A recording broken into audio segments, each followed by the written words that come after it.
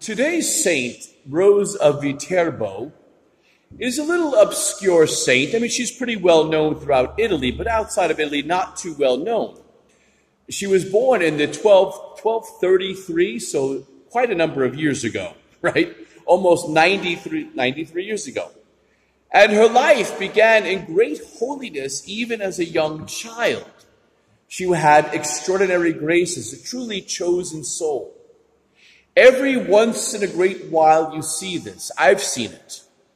A young person with extreme holiness. I witnessed it myself in a young person who died at a very young age, who expressed in their life extreme holiness.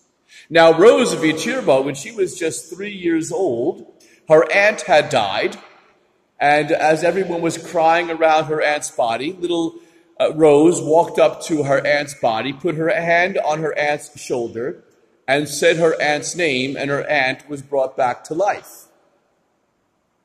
It kind of caused a bit of a stir.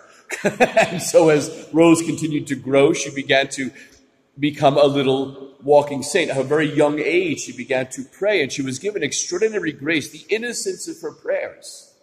She committed herself at a very young age to the Lord.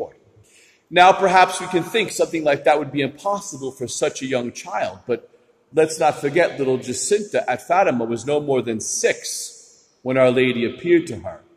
At seven years old, she saw hell. Little Jacinta began to do incredible penance for the conversion of souls and for the Holy Father, the Pope. 800 years before Jacinta, or seven, 600 years, 700 years before Jacinta, was Rose. And Rose was one of those young chosen souls who prayed and did penance throughout her young life for the conversion of sinners. At the age of 10, our Lord appeared to her, scourged and beaten, hanging upon the cross. And she said, My Lord, who did this to you? And he said, Sinners have done this to me. Very similar to little Jacinta you know, who would see uh, hell and then see the Immaculate Heart of Mary and want to do penance in reparation for sins against the Sacred Heart of Jesus and the Immaculate Heart of Mary. So little Rose wanted to do reparation for sinners and to obtain for them the grace of conversion. At 10 years old, she actually started walking through the streets with a crucifix in her hand, calling out to the town people to do penance, to look to what they did to the Lord, and to turn around and change their lives. And she brought about the conversion of many people because of her little faith, or this little soul with great faith. She was able to bring many people to conversion. And just as little Jacinta of Fatima was very concerned about the Holy Father, so Rose, at a very young age, got involved in politics. At the age of 15 years old, uh, the town of Viterbo was kind of political stuff going on between the papal states and and the emperor and so forth. And uh, she got very involved in the politics of it and demanded that Viterbo return to one of the papal states and so forth. And um, uh, she eventually was heard. she was she was uh, the, the, Holy Father responded, and so did the return of Viterbo to the papal state. She got very involved politically as a young woman, but it was mostly concerned about the Holy Father and this town being one of the papal states, the authority of the Holy Father and she prayed very much for the Holy Father. She died at a very young age, at 17 years old. She wanted to enter the Poor Clares, but because she was poor, she didn't have the dowry to enter a monastery. And so she said to the sisters, Well, you won't receive me in life, but you will receive me in death. So after she died, twice she appeared to the Pope and told the Pope to let the sisters move her dead body from the regular graveyard to the convent monastery. And so the Holy Father said to them, You know what? Uh, she's bugged me twice uh, since she's died. Would you mind moving her body into the monastery? so they did.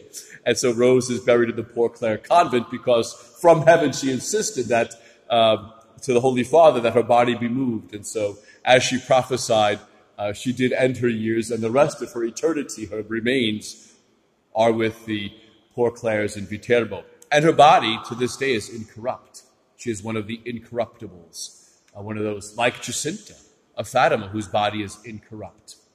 Now, she's a good one to speak about today because we have in our gospel uh, the Pharisees coming to Jesus and um, and saying that the disciples of John the Baptist fast and they fast. How come his disciples aren't fasting? And our Lord says, well, you can't pour new wine to old wineskins. You can't fast when the bridegroom is with you. You got to wait till the party's over. And so what was happening is as the Lord was coming to us, there is the rejoicing, the jubilation that the bridegroom is here. The groom has come to wed himself to the church.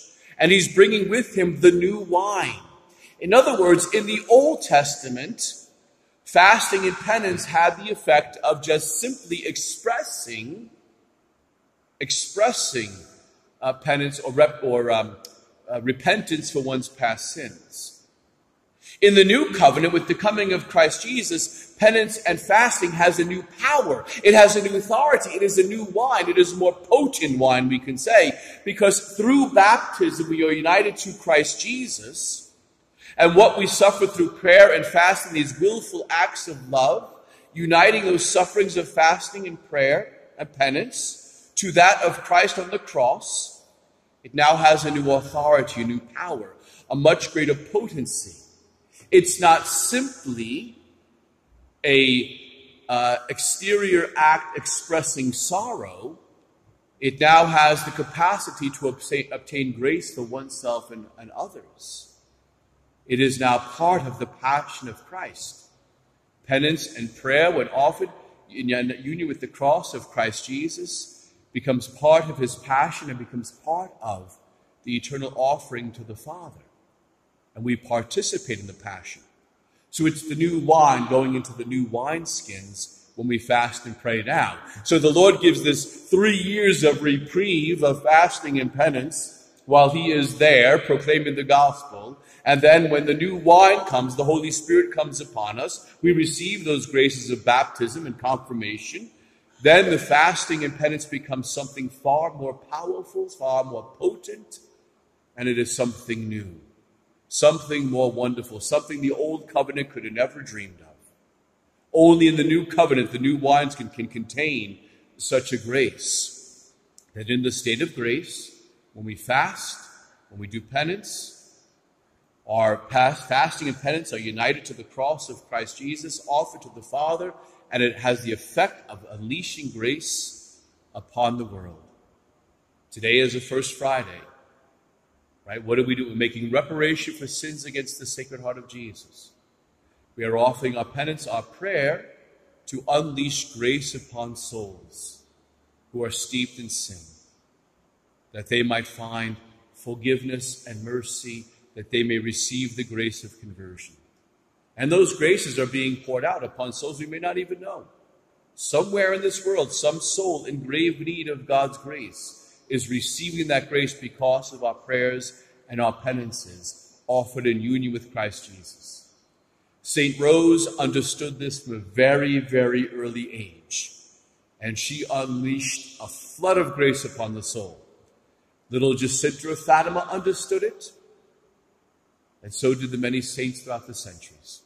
Simple folk understand it because it just makes sense to unite our sufferings to those of Christ, and to unleash upon the world the ocean of God's mercy.